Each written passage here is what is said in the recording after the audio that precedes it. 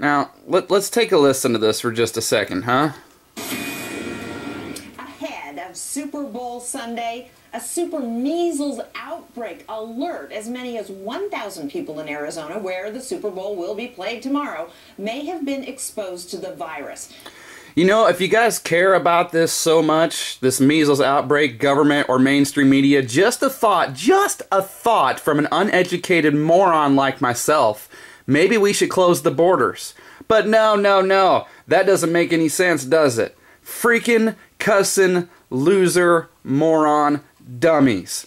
Fear, fear, fear, sell it, sell it, sell it, sell it. Really weird, too, by the way, that you have some Arizona weatherman telling people that it's getting really hot and they should get out while they, while they still can. I'll put that link below if you haven't seen it. Thanks to Chug Calais for putting that out there. Dummies! Guess we'll see what happens tomorrow. Thanks for watching, subs.